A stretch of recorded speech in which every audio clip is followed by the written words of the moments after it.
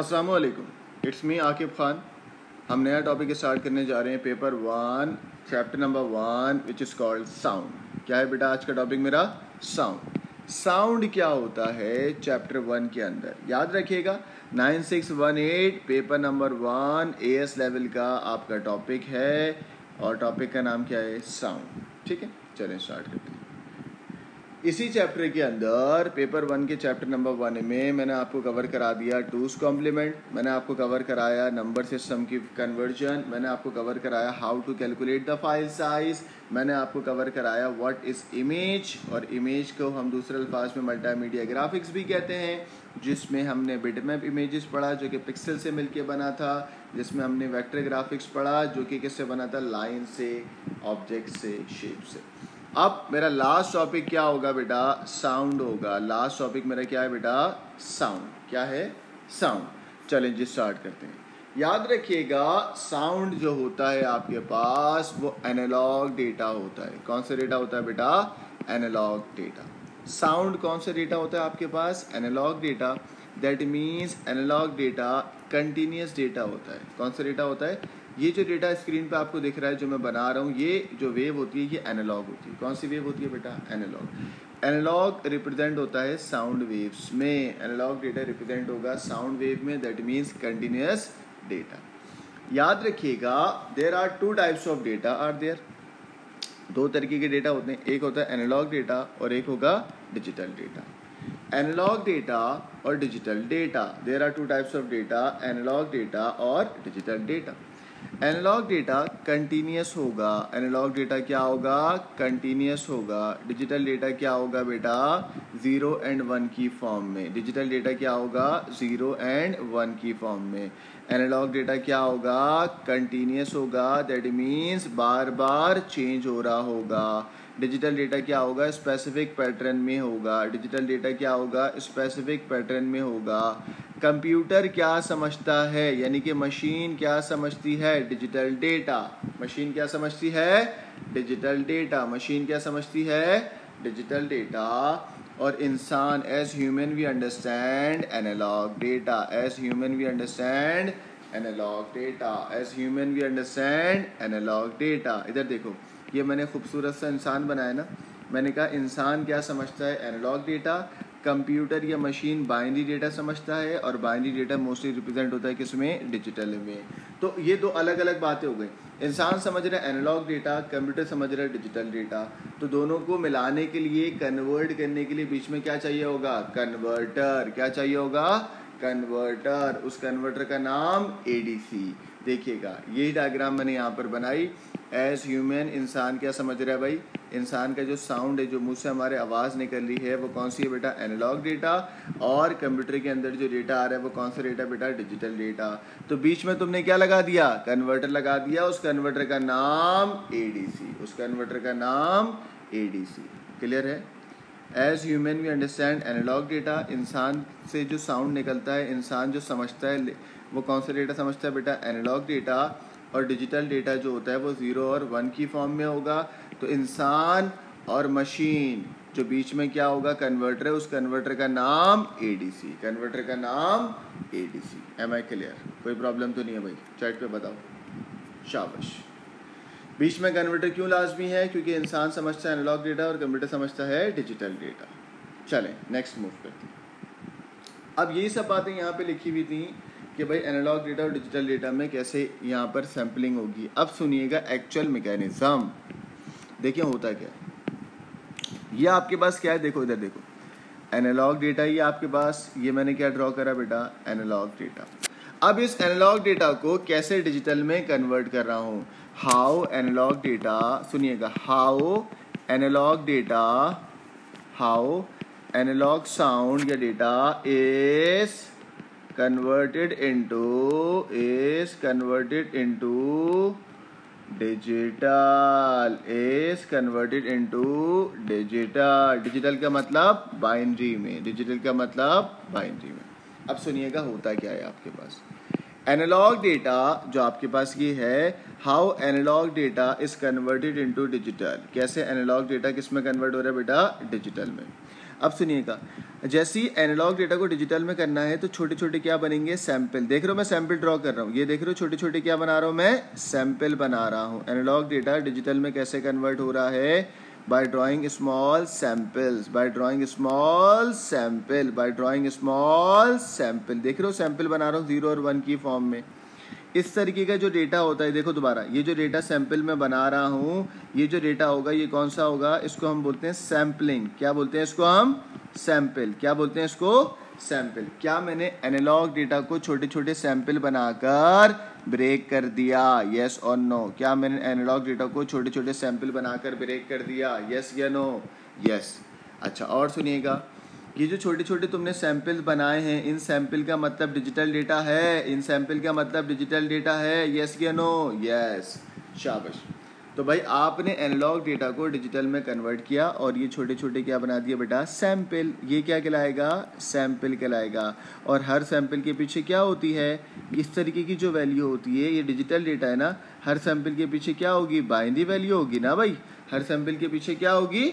बाइंदी value तो बेटा, जो आपने एनालॉग के ऊपर ये सैंपलिंग करी है, इस तरीके से, इसमें हर एनालॉग के पीछे क्या है बेटा? सैंपल है, और हर सैंपल के पीछे क्या होती है? कोई ना कोई बाइनरी वैल्यू कोई ना कोई बाइनरी वैल्यू तो क्या एनालॉग डेटा कन्वर्ट हो गया बाइनरी वैल्यू वाले डेटा में? दैट मीन्स डिजिटल डेटा में। दैट मीन्स डिजिटल डेटा में बाय यूजिंग द मेथड या प्रोसेस मेथड या प्रोसेस का नाम क्या है बेटा? सैम्पलिंग इस मेथड को, इस प्रोसेस को हम बोलते हैं सैम्पलिंग इस मेथड को, इस तरीके को हम क्या बोलते हैं? सैम्पलिंग कहते हैं। क्या कहते हैं बेटा?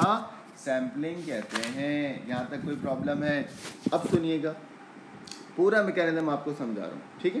पूरा का पूरा मैकेनिज्म आपको समझा रहा हूँ। सैम्पलिंग वर्ड का मतलब क्या होगा? सैम्पलिंग सैम्पलिंग वर्ड का मतलब होता है, इधर देखो सैम्पलिंग वर्ड का मतलब क्या है? यहाँ से चार पाँच टर्मिनोलॉजीज निकल रही हैं। टर्मिनोलॉजीज ऑफ़ साउंड कुछ साउंड के बारे में चीज़ें निकल रही हैं, ज़रा देखिएगा। नंबर वन निकलेगी क्या? सैम्पलिंग अभी मैंने आपको बताया ना सैम्पलिंग सैंपल नहीं सैम्पलिंग सैम्पलिंग होता क्या है? सैम्पलिंग एक मेथड का, एक प्रोसेस का नाम है, जो कि रिकॉर्ड करता है recording a signal recording a signal एक पर्टिकुलर टाइम के बाद, उस पर्टिकुलर टाइम को बोलते हैं at regular interval at regular interval एक पर्टिकुलर टाइम के बाद, एक पर्टिकुलर टाइम के बाद दिस इज़ कॉल्ड सैम्पलिंग यहाँ तक कोई प्रॉब्लम है? नहीं. अच्छा यहाँ तक कोई प्रॉब्लम नहीं होगा? मुझे उम्मीद है कि आपको समझ आया होगा। है ना भाई?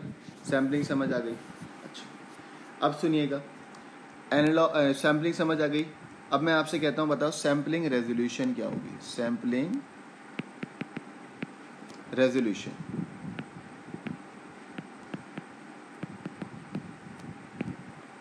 सैम्पलिंग रेजोल्यूशन क्या है?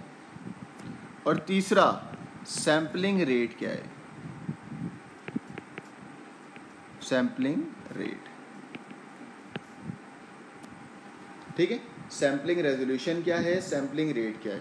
भाई सैम्पलिंग खुद से क्या होता है? रिकॉर्ड करना सिग्नल को एक पर्टिकुलर टाइम पे, रिकॉर्ड करना एक सिग्नल को एक पर्टिकुलर टाइम पे, जैसे यहाँ पे आप रिकॉर्ड कर रहे थे, है ना? एक पर्टिकुलर टाइम पे आप छोटे छोटे क्या बना रहे थे? सैंपल कर रहे थे। इस सैंपल को मेथड को हम क्या बोलते हैं? सैम्पलिंग कहते हैं। ऐसी है ना भाई? अब मैं बताने जा रहा हूँ सैम्पलिंग रेजोल्यूशन और सैम्पलिंग रेट चलें। सैम्पलिंग रेजोल्यूशन के बारे में सुनिए। भाई सैम्पलिंग रेजोल्यूशन के दो नाम और होते हैं। सैम्पलिंग रेजोल्यूशन के दो नाम और होते हैं। एग्जामिनर आपको अलग अलग नाम से पुकार सकता है। सैम्पलिंग रेजोल्यूशन का एक नाम और होता है। दैट मीन्स बिट डेप्थ इसको हम क्या बोलते हैं बेटा? बिट डेप्थ बिट डेप्थ का एक और नाम, यानी कि सैम्पलिंग रेजोल्यूशन का एक नाम बिट डेप्थ और एक और नाम क्या होगा?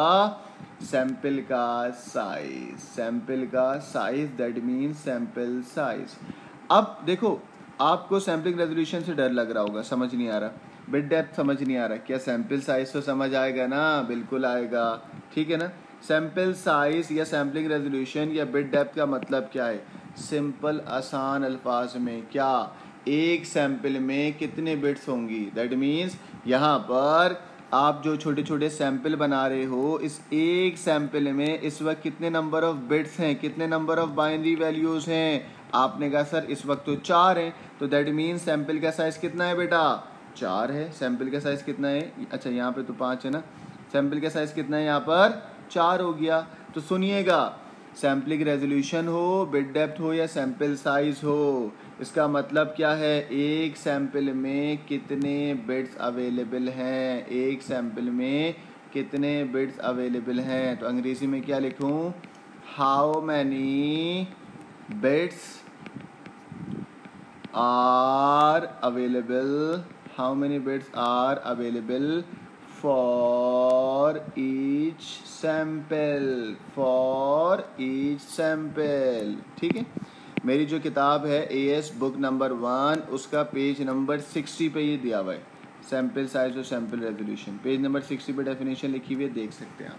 एक सैंपल में कितने नंबर ऑफ़ बिट्स अवेलेबल हैं? ये क्या कहलाएगा? सैम्पलिंग रेजोल्यूशन बिट डेप या सैंपल का साइज़ यहाँ तक कोई प्रॉब्लम है? चलो। अब आ जाए नेक्स्ट टर्मिनोलॉजी पे। पहले आपको टर्मिनोलॉजी पढ़ा रहा हूँ। सैम्पलिंग रेट क्या बेटा?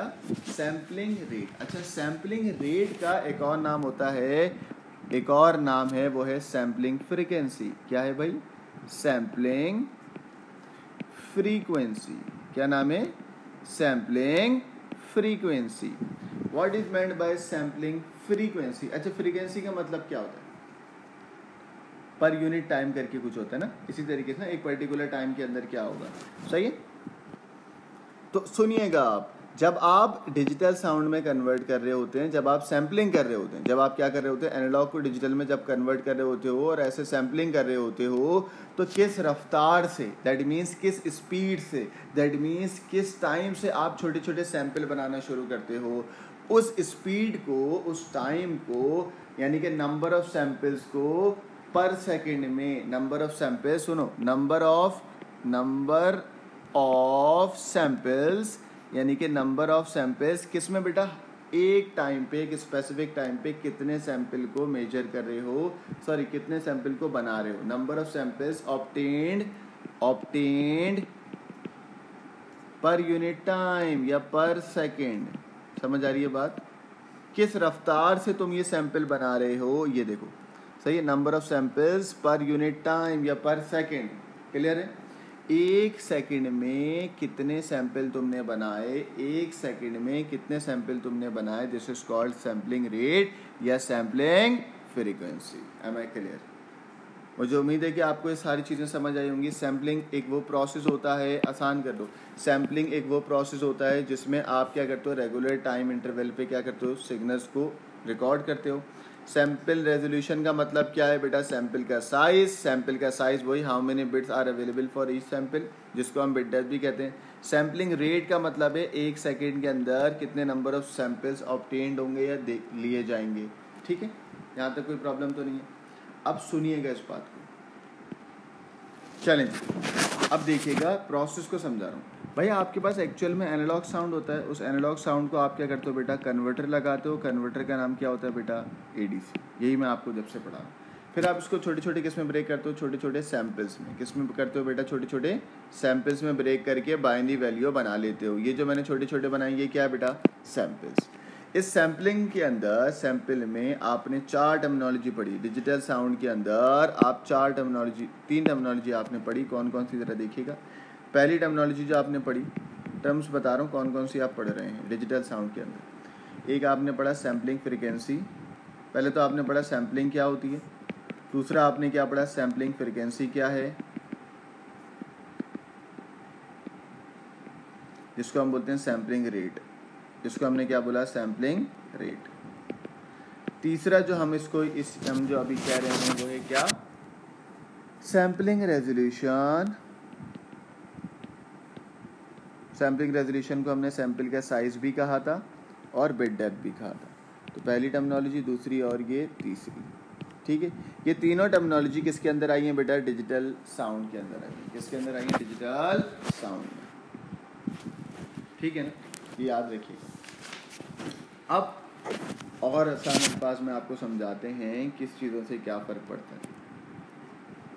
देखिएगा पास पेपर में सवाल आया कि बताएँ एनालॉग साउंड को आप कैसे सैंपल करते हो और सैंपल करके कन्वर्ट कर देते हो किसमें बेटा? डिजिटल फॉर्मेट में। तो इसका जवाब सुन लें भाई। एम्पलीट्यूड एम्पलीट्यूड का मतलब होता है हाइट ऑफ़ साउंड एम्पलीट्यूड का मतलब पता है ना? इसमें एम्पलीट्यूड क्या है? एम्पलीट्यूड ये है। दिस इज़ द एम्पलीट्यूड ठीक हो गया। Amplitude of sound wave measure होगा। एक रेगुलर टाइम इंटरवल पे हम क्या करेंगे, उसको रिकॉर्ड करेंगे रिकॉर्ड करके उसके छोटी छोटी क्या बनाएँगे बेटा? सैंपल बनाएँगे और हर सैंपल के पीछे क्या होगी बेटा? Binary value for computer to store sound value we need to convert into मतलब we need to convert analog sound into digital analog sound को हम क्या बोलते हैं? कंटिन्यूस साउंड डिजिटल साउंड को बोलते हैं डिस्क्रीट साउंड ठीक है? An analog sound wave is picked by the microphone analog sound wave जो मुँह से निकल के माइक में जाती है दैट मीन्स माइक्रोफोन और उसको कन्वर्ट सेंड करेंगे एनालॉग टू डिजिटल कन्वर्टर से और फिर इलेक्ट्रिकल सिग्नल में कन्वर्ट होगा। एडीसी एक कन्वर्टर का नाम है जो कन्वर्ट करता है इलेक्ट्रिकल सिग्नल को डिजिटल वैल्यूज़ में। बता चुका हूँ। ठीक है ना? और जो हमारे पास साउंड मेजर होता है मोस्टली वो किसमें मेजर होता है बेटा? साइकिल्स पर सेकंड में या हर्ट्स में। ठीक है? उम्मीद है कि ये समझ आ गया होगा आपको। चल। सैम्पलिंग की डेफिनेशन लिखी हुई है पेज नंबर कहाँ पे लिखी हुई है? अच्छा इससे पहले वाला जो मैंने सवाल कराया है, ये आपके नोट्स के अंदर पेज नंबर 58 पे है। देख लें इसको आराम से। उसके बाद पेज नंबर 59 ओपन कर लें। A S book number one page number 59 sampling already पढ़ा चुका हूँ सैम्पलिंग क्या होती है? सैम्पलिंग का मतलब सिग्नल्स को रिकॉर्ड करना एक पर्टिकुलर टाइम इंटरवल पे। How sampling is used to record the sound clip ज़रा इसको देख लेते हैं। आपको ऑलरेडी प्रोसेस बता चुका हूँ। वही प्रोसेस जो आपको मैंने बताया था, उसी को यहाँ अंग्रेज़ी में डिफाइन किया भाई, आप पढ़ सकते हैं।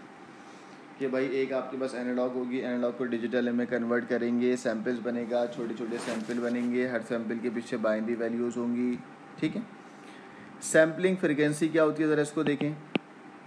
पहले पढ़ाया था फ्रिक्वेंसी को हम बोलते हैं सैम्पलिंग रेट और रेट का मतलब होता है टाइम ठीक है ना? Number of samples obtained per second या the number of samples taken per unit time next sampling resolution next sampling resolution मैंने आपको पहले ही बताया सैम्पलिंग रेजोल्यूशन हो। इसके एक और नाम है बेड डेप्थ और बेड डेप्थ का एक और नाम मैंने आपको पढ़ाया, वो क्या था? सैंपल का size that mean sample size actual में आपको जो डेफिनेशन याद रखनी है, वो इस नाम से रखनी है सैंपल साइज़ के नाम से. How many bits are there in each sample ठीक है? चलो. देखिए यही लिखी हुई यहाँ पर भी देख सकते हैं आप लोग स्क्रीन पर कि भाई सैंपल का साइज़ हो या बिट डेप्थ हो या सैम्पलिंग रेजोल्यूशन हो. डेफिनेशन क्या है बेटा? ज़रा देखें। How many bits are available for each sample diagram आपके सामने बनी हुई ये देख रहे हो? एनालॉग को डिजिटल में कैसे कन्वर्ट करा है? देख रहे हो आप लोग? छोटे छोटे सैंपल्स बने हैं। इस डायग्राम में देखें एनालॉग से डिजिटल में कैसे कन्वर्ट हुआ है। ठीक है? उसने कहा कि भाई सैंपल का साइज़ कैसे निकलता है? Sampling resolution is a number of distinct values available to represent each sample कौन से पेज पे है ये? Page number page number sixty A S book number one page number sixty. आराम से हाईलाइट कर लें उसको, ठीक है? The number of samples result three कैसे आया? टू की पावर में इसको हम लोग लिखते हैं। किसमें लिखते हैं बेटा? टू की पावर थ्री में। है ना क्लियर कोई प्रॉब्लम तो नहीं? अब हम फैक्टर्स को पढ़ेंगे। अब हम किसको पढ़ेंगे बेटा? फैक्टर्स को कि सैम्पलिंग रेजोल्यूशन जो है वो एक्यूरेसी ऑफ़ साउंड में कैसे इफ़ेक्ट करती है? What are the factors? What are the factors? चलें जी अब ये कुछ फैक्टर होते हैं आपके पास, लेकिन इस फैक्टर से पहले आपको ज़रा मैं रिवाइज करवाऊँ लेक्चर को। इंसान समझता था एनालॉग डेटा कंप्यूटर समझता था डिजिटल डेटा तो हमने बीच में क्या लगाया था? कन्वर्टर लगाया था। क्या लगाया था? कन्वर्टर इसी तरीके से यहाँ पर हमने एनालॉग डेटा को कन्वर्ट किया था छोटे छोटे किस्में सैम्पल्स में। अब ज़रा गौर से समझिएगा जो मैं समझाने जा रहा हूँ। सुनिए as human we understand analog data इस एनालॉग डेटा को हम छोटे छोटे किसमें कन्वर्ट करेंगे सैंपल में। दैट मीन्स हम एनालॉग डेटा को सुने भाई दैट मीन्स हम एनालॉग डेटा को कन्वर्ट कर रहे हैं डिजिटल डेटा में। That means digitalizing sound that means digitalizing sound अच्छा जब हम डिजिटलाइजिंग साउंड करते हैं that means zero and one की फॉर्म में करते हैं। दैट मीन्स हम इसमें क्या करते हैं बेटा? सैम्पल्स बनाते हैं। सही है ना? और सैंपल से निकली थी तीन टेक्नोलॉजीज़ कौन कौन सी? सैम्पलिंग क्या होती है? ये निकली सबसे पहली मैंने आपको पढ़ाई। दूसरी टेक्नोलॉजी क्या निकली थी बेटा? जिसके तीन नाम थे। क्या? सैम्पलिंग रेजोल्यूशन सैंपल साइज़ इसी का एक नाम था सैंपल का साइज़ और एक और नाम था क्या? एक और नाम क्या था? सैम्पलिंग रेजोल्यूशन सैंपल साइज़ और बिट डेप्थ ठीक हो गया। फिर तीसरी टर्मिनोलॉजी मैंने आपको पढ़ाई। क्या पढ़ाई? ज़रा बताओ मुझे। सैम्पलिंग फ्रिक्वेंसी और सैंपल रेट सैंपल फ्रिक्वेंसी जिसको हम कहते हैं सैंपल रेट ठीक है ना? याद है ना सब आपको? हमने एनालॉग डेटा को डिजिटल में जब कन्वर्ट करना चाहा तो दैट मीन सैंपल बने और सैंपल से हमने आपको ये तीन टेक्नोलॉजी पढ़ाई। अब मैकेनिज्म को समझिएगा जो मैं आपको समझा रहा हूँ। भाई, जब आप एनालॉग डेटा को, जब आप एनालॉग डेटा को डिजिटल डेटा में कन्वर्ट करना चाहते हैं, ऐसे छोटे छोटे क्या बनाते हैं? सैंपल बनाते हैं। छोटे छोटे क्या बन रहे हैं? सैंपल बन रहे हैं। छोटे छोटे क्या बन रहे हैं? सैंपल बन रहे हैं। जब एनालॉग डेटा को डिजिटल में कन्वर्ट कर रहे हो तो छोटे छोटे क्या बने? सैंपल बने। ठीक है ना? दैट मीन साउंड को डिजिटल कर रहे हैं। हर सैंपल के अंदर एक बाइनरी वैल्यू होगी। और अब सुनिएगा, इस एनालॉग डेटा को डिजिटल में जो आपने कन्वर्ट करा तो क्या ये पूरा कन्वर्ट हो गया? ये बीच में कुछ गैप्स नज़र आ रहे हैं। ये आपको गैप नज़र आ रहे हैं छोटे छोटे ये देखो, ये गैप नज़र आ रहा है आपको। है ना? एक्यूरेटली तो आपने चीज़ों को मैप नहीं करा ना। हम बेसिकली मैप कर रहे ना। ये मैप कर रहे ना हम। ठीक है? हमने चीज़ों को एक्यूरेटली मैप तो नहीं करा ना। हमारे बीच में कुछ गैप्स भी आ गए। एनालॉग से डिजिटल में कन्वर्ट करते वक्त क्या आ गया बेटा? गैप आ गया। प्रॉपरली मैप नहीं हो पाया। क्या आ गया बेटा? गैप आ गया। सही है? प्रॉपरली मैप नहीं हो पाया, ऊपर प्रॉपरली हम नहीं रख पाए। ये देखो, अगर मैं इस तरीके से करूँगा तो क्या ये गैप आ गया? बिल्कुल आ गया। सही है? ये जो गैप होता है, ये गैप आना अच्छी बात नहीं है, बुरी बात है। और इस गैप को मैं कहता हूँ, एक टाइप ऑफ़ एरर और वो एरर का नाम होता है क्वांटाइजेशन एरर कौन सा एरर बेटा? क्वांटाइजेशन एरर कौन सा एरर कहलाएगा ये? क्वांटाइजेशन एरर तो क्वांटाइजेशन एरर है क्या? गैप का नाम है। वो गैप कब होगा? जब एनालॉग से डिजिटल में तुम कन्वर्ट कर रहे होगे, जब आप एनालॉग से डिजिटल में कन्वर्ट करके सैंपल बना रहे होगे, उस सैंपल के बीच में छोटे छोटे क्या आ सकते हैं बेटा? गैप्स आ सकते हैं। और वो गैप होना अच्छी बात नहीं है, बुरी बात है। और इस टाइप ऑफ़ बुरी बात को। बुरी बात का मतलब कोई एरर है, उस एरर को मैं क्या बोलता हूँ? कॉन्टाइजेशन एरर क्या बोलता हूँ? क्वांटाइजेशन एरर क्वांटाइजेशन एरर कब होता है? जब एनालॉग साउंड को मैप कर रहे होते हैं या कन्वर्ट कर रहे होते हैं डिजिटल साउंड में तो बीच में गैप आएगा। और गैप आना अच्छी बात तो नहीं है। हम तो चाहते हैं बिल्कुल एक्यूरेटली मैप हो। तभी तो साउंड हमारा एक्यूरेट आएगा। तभी तो साउंड हमारा एक्यूरेट आएगा। तो यहाँ से तीन वर्डिंग निकल रही हैं। अगर आप देखो तो तीन वर्डिंग निकली है कि जब तुम एनालॉग साउंड को, जब तुम एनालॉग साउंड को कन्वर्ट करते हो, किसमें कन्वर्ट करते हो या मैप करते हो, किसमें? डिजिटल में। तो आपके पास जो गैप आते हैं, आपके पास जो गैप आते हैं, उस गैप को अभी मैंने पढ़ाया क्या कहते हैं? कॉन्टाइजेशन एरर अच्छा कॉन्टाइजेशन एरर अब सुनिएगा। इसी डायग्राम के अंदर। यहाँ पर गैप कम है और एक तरफ़ गैप ज़्यादा है। ब्लू कलर से गैप कम है और रेड कलर से गैप ज़्यादा है। अब देखिएगा, मैं आपको चीज़ें समझा रहा हूँ। एक्यूरेट वर्ड को समझा रहा हूँ। यहाँ से एक और टर्मिनोलॉजी निकलेगी accuracy of sound accuracy of sound sound कैसे एक्यूरेट होगा? कि इसका क्या मतलब है? सर, ये तो समझ नहीं है what is mind by accuracy of sound problem आ रही है ना? एक्यूरेसी का मतलब क्या है? सुनिएगा इस बात मेरा आपसे सवाल है, इसी एनालॉग को डिजिटल में कन्वर्ट करने के लिए मैंने एक तरफ़ स्क्रीन बना दी, ये वाली स्क्रीन है ए स्क्रीन और ये वाली जो स्क्रीन है ना, ब्लू वाली, ये कौन सी स्क्रीन है बेटा? बी स्क्रीन ठीक है ना? दोनों में मैं क्या करूँगा, एनालॉग को डिजिटल में मैप कर रहा हूँ। ज़रा मुझे बताओ ए स्क्रीन के अंदर आपके पास जो गैप हैं, वो लेस गैप है। छोटे छोटे गैप है ना भाई, लेकिन गैप तो है। और अब मैं यहाँ पर जब इस एनालॉग को डिजिटल में कन्वर्ट कर रहा हूँ तो सैंपल बड़े बड़े रख दिए। बड़े सैंपल का मतलब क्या है? गैप क्या है बेटा? ज़्यादा है। गैप क्या है? ज़्यादा है। तो ये जो गैप है, ये क्या है बेटा? मोर गैप मोर गैप का मतलब क्वांटाइजेशन एरर बड़ा है। More gap that means quantization error जो है वो क्या है बेटा? लार्ज है। क्वांटाइजेशन एरर जो है वो क्या है बेटा? लार्ज है। ज़रा सोच के बताना। किसमें साउंड ज़्यादा एक्यूरेट होगा?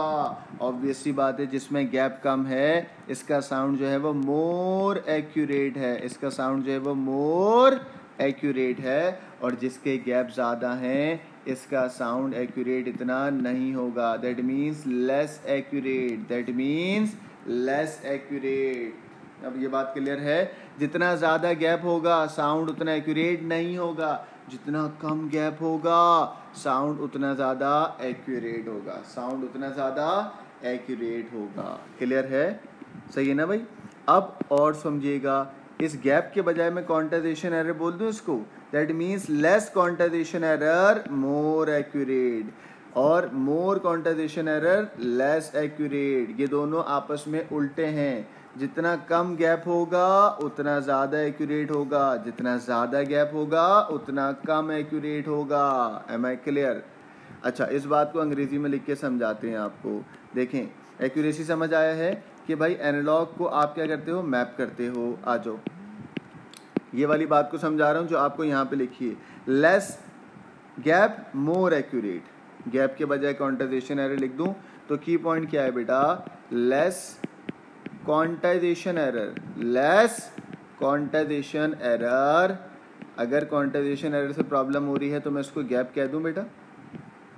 Gap between analogue and digital sound जितना कम क्वांटाइजेशन एरर होगा दैट मीन्स साउंड उतना एक्यूरेट होगा। More accurate more accurate sound ठीक है? अच्छा इसी के अपोजिट जरा दूसरी बात करिएगा। मोर क्वांटाइजेशन एरर, या बिगर क्वांटाइजेशन एरर कह दूँ उसको। गैप है ना भाई? Bigger quantization error.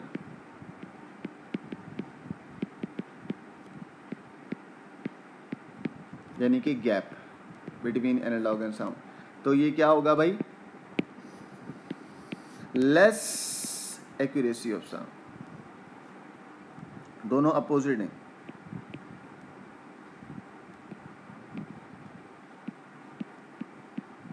सही है, ये बड़े की पॉइंट है। तो यहाँ से आपने क्वांटाइजेशन एरर पढ़ लिया कि भाई क्वांटाइजेशन एरर में जितना कम क्वांटाइजेशन एरर होगा साउंड उतना एक्यूरेट होगा और अगर साउंड को तुम्हें इतना एक्यूरेट नहीं बनाना तो फिर गैप बढ़ा दो, तुम्हें लग पता जाएगा। इसमें अच्छी बात क्या है? अच्छा एक बात और।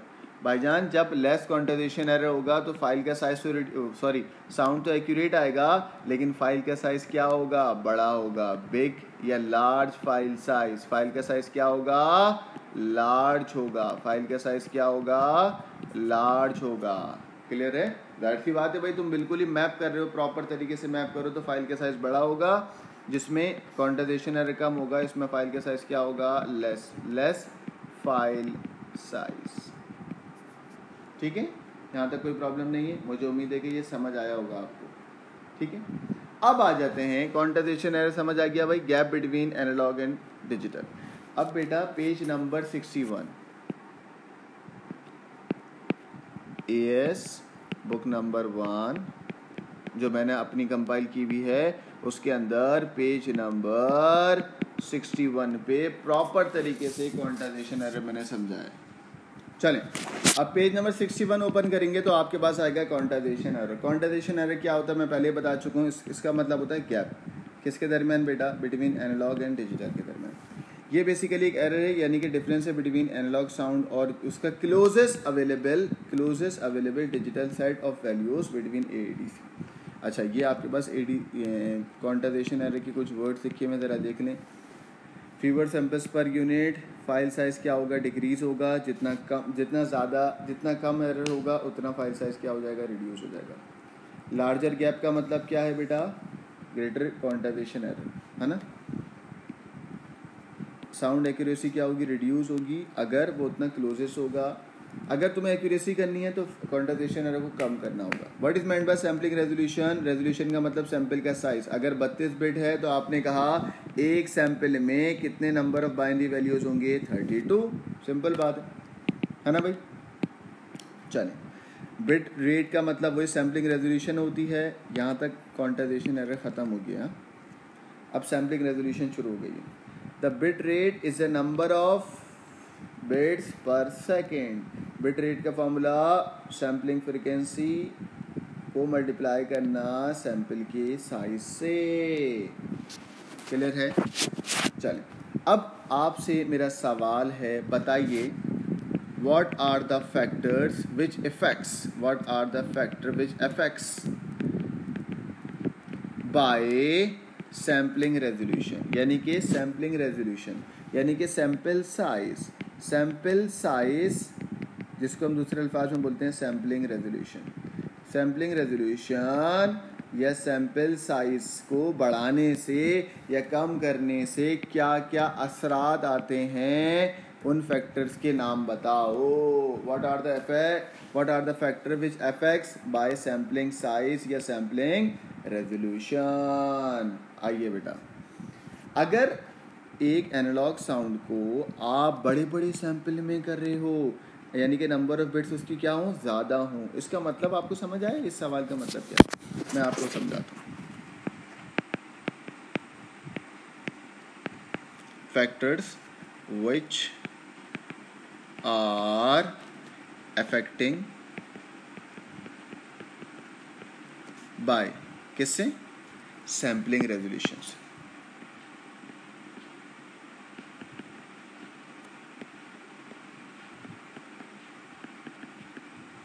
कौन से फैक्टर हैं जो कि सैम्पलिंग रेजोल्यूशन से इफ़ेक्ट करेंगे? अच्छा फैक्टर के नाम तो मैं बाद में बताऊँगा। इस सवाल का मतलब सुन लें ये सवाल ही नहीं समझ आएगा इसका मतलब ये कि भाई, जब आपके पास एनालॉग साउंड होता है ना, उसके अंदर जो आप सैंपल बनाते हो, ये सैंपल बनाए ना, इसमें एक सैंपल का जो साइज़ होता है इसमें एक सैंपल का जो साइज़ होगा, इसमें एक सैंपल का जो साइज़ होगा that means how many number of bits are available for each sample एक नंबर ऑफ़ साइज़ एक नंबर ऑफ़ सैंपल्स में कितनी नंबर ऑफ़ बिट्स हैं? कितनी नंबर ऑफ़ बिट्स हैं?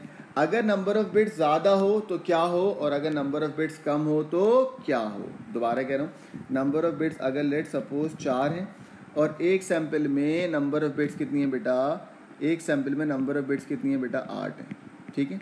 तो आठ नंबर ऑफ़ बिट्स वाले फैक्टर को क्या होगा? नंबर ऑफ़ सैंपल में क्या होगा? और चार सैंपल वाले, चार बिट्स वाले सैंपल में क्या होगा? सवाल समझ आए? एक सैंपल में अगर चार बिट्स हैं और एक सैंपल में अगर आठ बिट्स हैं तो बताओ क्या असरात होंगे? तो बताओ क्या असरात होंगे? ये इस सवाल का मकसद है। अभी मैं आपसे आंसर नहीं पूछ रहा, सिर्फ़ सवाल बताया है। कि अगर एक सैंपल में चार बिट्स हैं और एक सैंपल में आठ बिट्स हैं तो बताइए क्या असरात होंगे साउंड पे। ठीक है? चल। अब आपको बताते हैं कि what are the factors which are affecting by sampling resolution यानी कि अगर तुम्हारे पास चार बिट का सैंपल है, मेरे पास आठ बिट का सैंपल है तो आठ बिट का मतलब फ़ाइल साइज़ तो बढ़ जाएगा। फ़ाइल साइज़ क्या हो जाएगा? बढ़ जाएगा। ठीक है?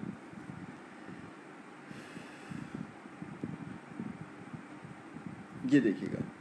इंक्रीजिंग द सैम्पलिंग रेजोल्यूशन जब तुम sampling resolution sampling resolution word को सैंपल साइज़ से कहते हैं। इसका मतलब क्या है? मतलब ये है कि भाई मोर बिट्स पर सैंपल जब तुम सैम्पलिंग रेजोल्यूशन यानी कि एक सैंपल में ज़्यादा बिट को बढ़ा दोगे तो क्या होगा? सबसे पहली बात, होगा क्या answer large file size obviously बात है फ़ाइल का साइज़ क्या हो जाएगा? बड़ा हो जाएगा। अच्छा जब फ़ाइल का साइज़ बड़ा होगा तो कॉन्टाइजेशन एरर क्या हो जाएगा? कम हो जाएगा, क्योंकि नंबर ऑफ़ सैंपल तुमने बढ़ाए। जब कॉन्टाइजेशन एरर लेस होगा तो एक्यूरेसी क्या होगी? उल्टी होती है ना मोर हो जाएगी। Less quantization error more accurate सही है? अगर क्वांटाइजेशन एरर मोर होता तो फिर ये लेस एक्यूरेट होता। क्वांटाइजेशन एरर और एक्यूरेसी अपोजिट होती है। ठीक है?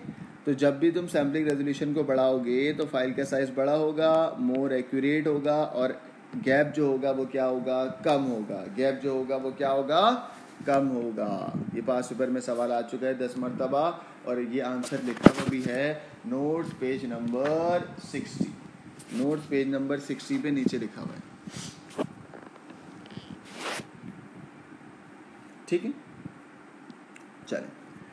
ये देखें यहाँ पे लिखा हुआ page number sixty what are the effects by increasing the sampling resolution हमने कहा कि भाई सैम्पलिंग रेजोल्यूशन का मतलब ये होता है larger file size more accurate ये बातें यहाँ पे भी लिखी हुई हैं, जो मैं आपको ऑलरेडी पढ़ा चुका हूँ. पेज नंबर सिक्सटी वन और डिटेल में यही बात बता रहे हैं कि भाई, क्या असरात होंगे? इसको बड़ा डिटेल में समझा रहे हैं आप, आपको. Page number sixty one A S P A S की किताब. जो मेरी है पेज नंबर सिक्सटी वन वो कह रहे हैं फैक्टर्स के नाम बताएँ, दोबारा से वही चीज़ को और डिटेल में समझा रहे हैं. Factors which are affecting by sampling resolution ये चीज़ को मैं इसलिए लंबा कर रहा हूँ ताकि आपको ये समझ आ जाए कि भाई सैम्पलिंग रेजोल्यूशन से क्या असरात होते हैं. पहला असरात आपने बोल दिया कि भाई फ़ाइल साइज़ बढ़ जाएगा.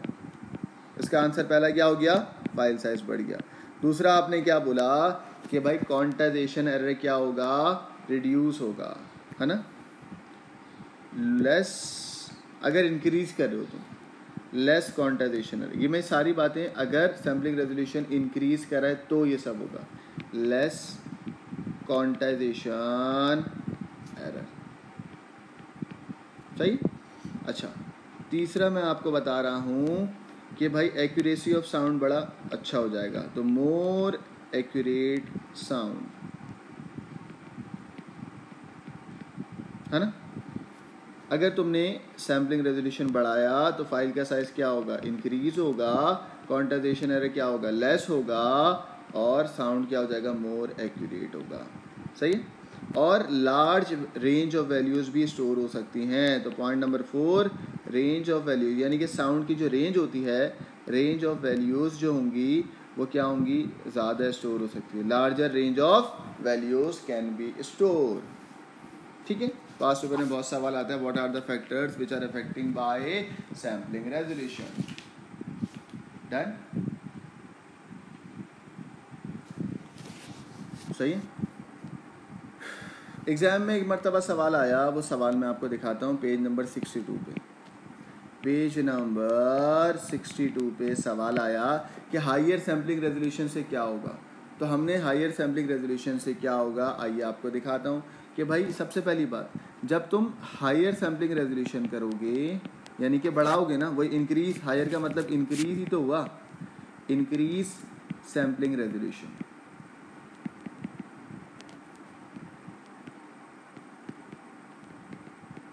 जब तुम सैम्पलिंग रेजोल्यूशन को बढ़ाओगे तो ऑब्वियसली बात है साउंड क्या होगा? एक्यूरेट होगा। एक्यूरेट साउंड को हम क्रिस्पियर साउंड भी कह सकते हैं ना भाई? क्रिस्पियर क्रिस्पियर साउंड हो जाएगा। है ना भाई? और क्वांटाइजेशन एरर क्या होगा? कम होगा। Large range of dynamic values आ जाएँगी।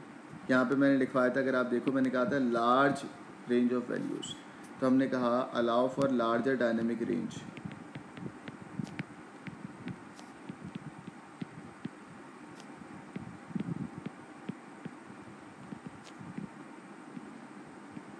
है ना भाई? इंक्रीज सैम्पलिंग रेजोल्यूशन से साउंड मोर एक्यूरेट होता है क्रिस्पियर होता है और लार्जर रेंज ऑफ़ वैल्यूज़ होती है। अच्छा इसका अब मैं आपसे पूछता हूँ, ज़रा मुझे बताओ पेज नंबर सिक्सटी टू पे लिखा हुआ है, अगर ड्रॉबैक पूछ रहा हूँ, ये तो आपने फ़ायदे बता दिए ना बेनिफिट बताए हैं ये आपने? ठीक है? अब आप मुझे ड्रॉबैक्स बताएँ। ड्रॉबैक्स किसके? अगर तुम सैम्पलिंग रेजोल्यूशन को बढ़ाते हो। अगर तुम सैम्पलिंग रेजोल्यूशन को बढ़ाते हो तो ड्रॉबैक बताओ क्या होगा? सही? सबसे पहली बात फ़ाइल का साइज़ क्या हो जाएगा? बड़ा हो जाएगा। लार्जर फ़ाइल साइज़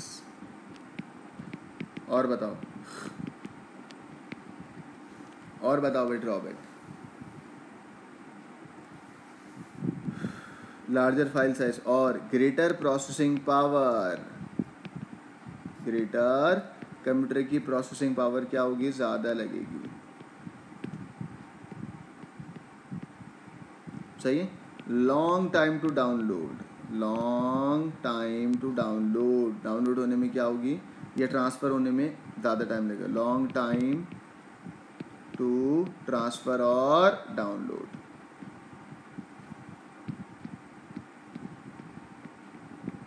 सही ये सारी बातें मेरे नोट्स के पेज नंबर सिक्सटी टू पर लिखी हुई हैं, देख सकते हैं आप लोग।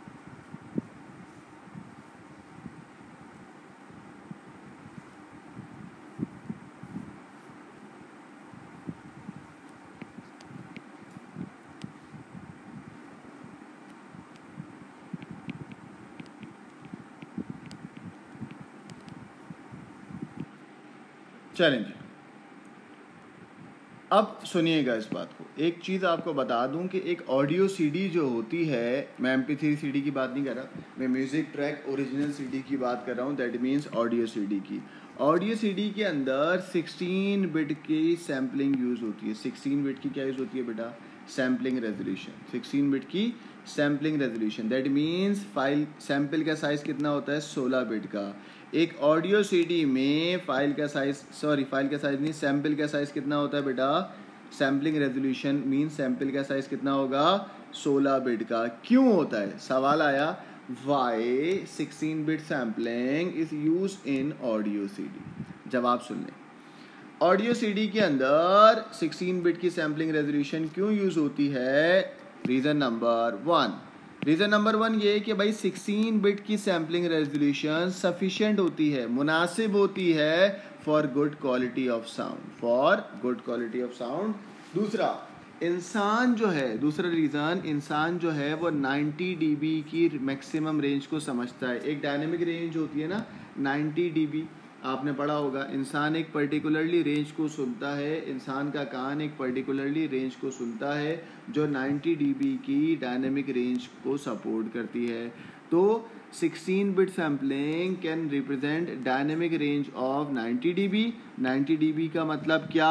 90 डीबी का मतलब ये लिखा हुआ है, ज़रा आप देखें, आपके सामने लिखा हुआ है 90 dB is dynamic range of human hearing which compromise between the reasonable यानी कि मुनासिब क्वालिटी और फ़ाइल का साइज़ सही? है मुनासिब क्वालिटी भी होती है और फ़ाइल का साइज़ भी क्या होता है? मुनासिब होता है। मुनासिब वर्ड के बजाय हमने क्या रखा? रीजनेबल रखा। ठीक है? तो ये दो पॉइंट जरा याद कर लें कि भाई why sixteen bit sampling is use in audio C D आप बोलेंगे sixteen bit sixteen bit sampling is sufficient for good quality of sound it represent the dynamic range of 90 dB 90 dB जो है, वो एक ऐसी डायनेमिक रेंज है जो कि कॉम्प्रोमाइज करती है between reasonable quality and file का साइज़ ठीक है? तो ये समझ आ गया होगा मुझे, उम्मीद है कि। Next sound editing software what is sound editing software क्या आपने साउंड को एडिट करने वाले सॉफ्टवेयर का नाम सुना है? सही है? कोई एक नाम बताए मुझे। चले। Sound editing software sound editing software के क्या क्या फीचर्स होते हैं? आप बोलेंगे, सर, हम उसमें से एक्सट्रैक्ट कर लेते हैं स्टार्ट का टाइम हम उसमें एडिट करते हैं start time end time duration of any sound extract कर लेते हैं किसी भी पार्ट को फेड इन कर लेते हैं फेड आउट कर लेते हैं फिल्टर्स अप्लाई कर देते हैं। इसी तरीके से एग्ज़ाम में एक सवाल आया what are the features what are the features of sound editing software ये देखें। लिखा हुआ है। ये 16 बिट की सैम्पलिंग वाली बात लिखी हुई है पेज नंबर 62 पे। आप देख सकते हैं, जो मैं आपको ऑलरेडी पढ़ा चुका हूँ। दूसरा साउंड एडिटिंग सॉफ्टवेयर के ये सब फीचर्स लिखे हुए हैं। कोई भी पाँच फीचर याद कर लें।